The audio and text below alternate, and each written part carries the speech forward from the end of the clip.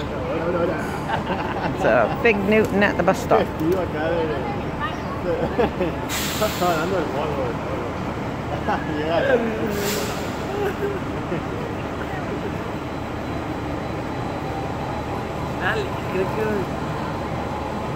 Ah, va a evitar. ¿Cuánto, cuánto tiempo? ¿Cuánto tiempo esperas evitar It's almost gone. It's standing on each other's heads.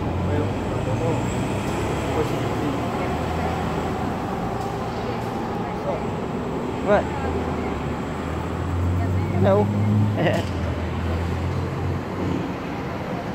you don't get any. Oops.